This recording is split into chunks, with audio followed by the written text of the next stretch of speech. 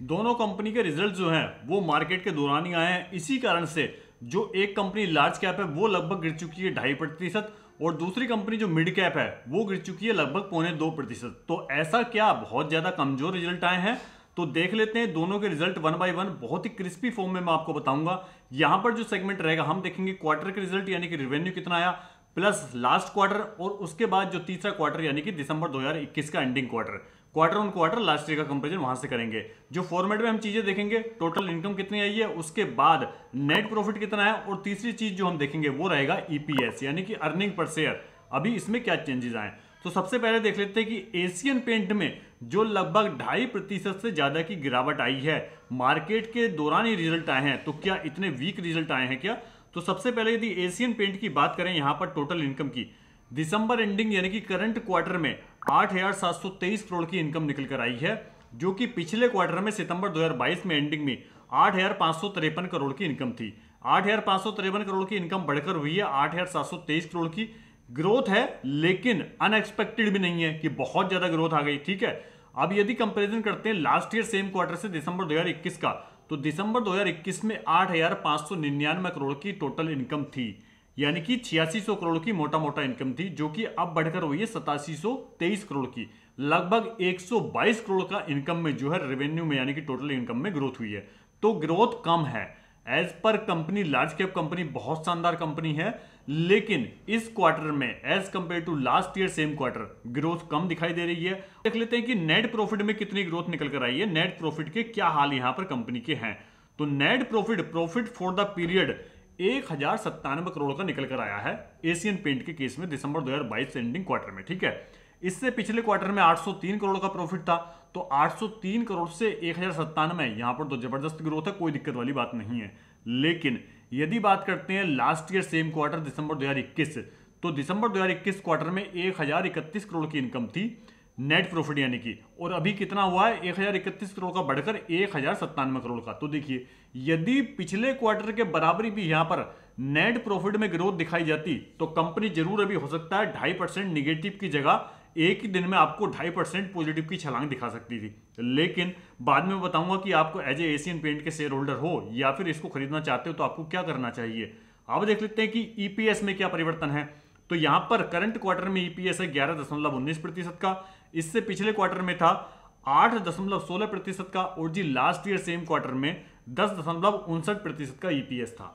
तो यहाँ पर ईपीएस में भी उसी हिसाब से रिफ्लेक्शन आपको हमेशा देखने को मिलेगा। यदि रिज़ल्ट यानी कि नेट प्रॉफिट बहुत ज़्यादा बढ़ेगा तो ऑफकोर्स आपका जो ईपीएस भी बहुत शानदार तरीके से बढ़ता हुआ दिखाई देगा। लेकिन यहाँ पर इतनी अच्छी ग्रोथ नहीं आई है तो वही इसी के हिसाब से लास्ट क्वार्टर के मुकाबले तो ईपीएस में बढ़ोतरी है, लेकिन लास्ट ईयर सेम क्वार्टर के मुकाबले मामूली सी बढ़ोतरी आपको ईपीएस में देखने को मिलेगी, ठीक है? तो यहाँ पर यदि आपके पास एशियन पेंट के शेयर है, तब आपको क्या करना चाहिए? मैं बोलूँगा यदि आपने एशियन पेंट के शेयर 52 वीक हाई प्राइस पर भी खरीदा हुआ है, जो कि वहाँ से लगभग अभी तेरह चौदह प्रतिशत शेयर डाउन हो रखा है, तब भी आपको चिंता करने की कोई ज़रूरत नहीं है। एशियन पेंट जैसा शेयर बल्कि आप इस समय इसको एवरेज कर सकते हो तेरह चौदह परसेंट के डिस्काउंट पर मिल रहा है तो सीधा सीधा आपको ये तेरह चौदह प्रतिशत का रिटर्न कमाने की रिटर्न बनाने की अपॉर्चुनिटी अभी दे रहा है। तो यहाँ पर आप एवरेज कर सकते हो यदि आपके पास फंड है, और नुकसान में बेचने वाला शेयर बिल्कुल भी नहीं है। बहुत ही शानदार कंपनी है, बेहतरीन प्रोडक्ट है। एक्सपोजर इसका मल्टीपल ये सेगमेंट जो है बढ़ा रहे हैं धीरे धीरे जैसे कि पेंट इंडस्ट्री से लेकर, और ये किचन डिज़ाइनिंग किचन मैन्युफैक्चरिंग में भी काम जो है करते हैं, ठीक है? अब चलते हैं दूसरी कंपनी में, जिसके बारे में मैंने पिछले दो तीन दिन पहले एक वीडियो डालकर आपको अपडेट किया था। कि ये कंपनी आपको डिस्काउंट पर मिल रही है, यदि आप रिटर्न बनना चाहते हो शॉर्ट टर्म में, तब इसमें आप एंट्री ले सकते हो। तो उस कंपनी का नाम है, जैसे कि आपको पता है हैप्पीएस्ट माइंड ठीक है? तो हैप्पीएस्ट माइंड का शेयर भी यदि बात करें अभी, लगभग एक दशमलव सत्तर प्रतिशत डाउन है रिज़ल्ट आने के बाद। तो क्या हैप्पीएस्ट माइंड के भी रिज़ल्ट बहुत ज़्यादा कमज़ोर आए हैं? तो रिज़ल्ट पर चलते हैं हैप्पीएस्ट माइंड के रिज़ल्ट भी इसी क्रिस्पी तरीके से हम लोग देख लेते हैं। हैप्पीएस्ट माइंड के केस में भी सेम रहेगा हमारा रिज़ल्ट को देखने का नज़रिया। पहले टोटल इनकम देखेंगे करंट क्वार्टर उससे पहले पिछला क्वार्टर सितंबर 2022 फिर लास्ट ईयर सेम क्वार्टर से कंपेरिजन करेंगे।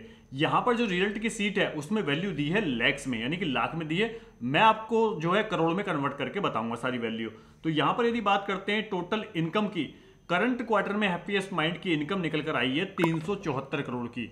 इससे पिछले क्वार्टर में हैप्पीएस्ट माइंड की इनकम थी तीन सौ उनसठ करोड़ की।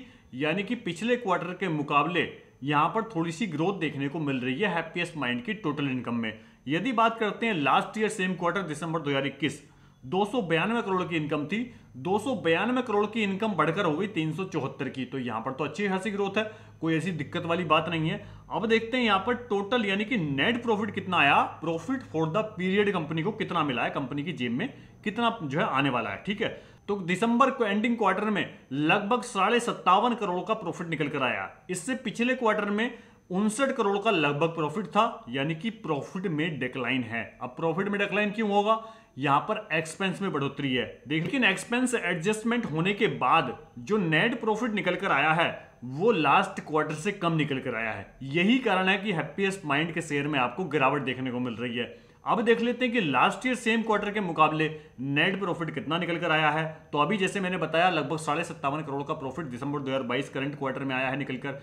लास्ट ईयर दिसंबर 2021 की यदि बात करें, लगभग उनचास करोड़ का प्रॉफिट था। तो उनचास करोड़ का प्रॉफिट अभी हो गया है सत्तावन दशमलव फाइव एट का।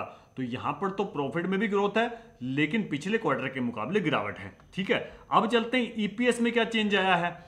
चार दशमलव ज़ीरो दो प्रतिशत का ईपीएस अभी करंट क्वार्टर का है। पिछले क्वार्टर में चार दशमलव एक पाँच का था। और यदि बात करें दिसंबर 2021 में तो तीन दशमलव चार चार का था। यानी कि 3.44 का ईपीएस बढ़कर हो गया 4.02 तो मामूली सी बढ़ोतरी है, लेकिन कंपनी का साइज़ भी मिड कैप का है। लगभग बारह तेरह हज़ार करोड़ की कंपनी का साइज़ है। तो जैसे कंपनी का साइज़ है और यहाँ पर रिज़ल्ट ठीक ठाक है, कोई इतने भी खराब रिज़ल्ट नहीं है, पिछले क्वार्टर को देखकर यदि कंसिडर करोगे तो थोड़े से डाउन है। लेकिन चिंता करने वाली बात नहीं है। कंपनी कहीं नहीं जा रही है। यहाँ पर एक इन्वेस्टमेंट की अपॉर्चुनिटी बनते हुए मुझे तो दिखाई दे रही है। शॉर्ट टर्म में कुछ भी हो सकता है। हो सकता है आज हैप्पीएस्ट माइंड के शेयर में आपको दिख रहा है कि लगभग डेढ़ पौने दो परसेंट की गिरावट है और एशियन पेंट में लगभग ढाई परसेंट की गिरावट है।